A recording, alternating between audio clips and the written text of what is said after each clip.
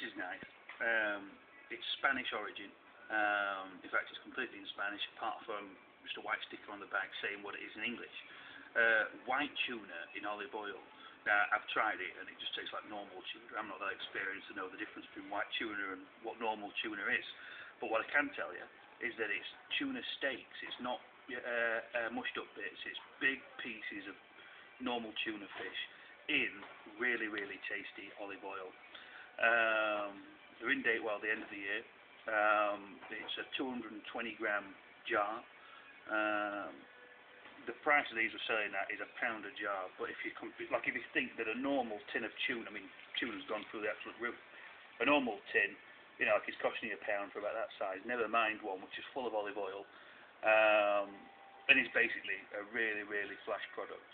But um, pound a jar, and you'll really enjoy these. I've tried them myself. Thank you.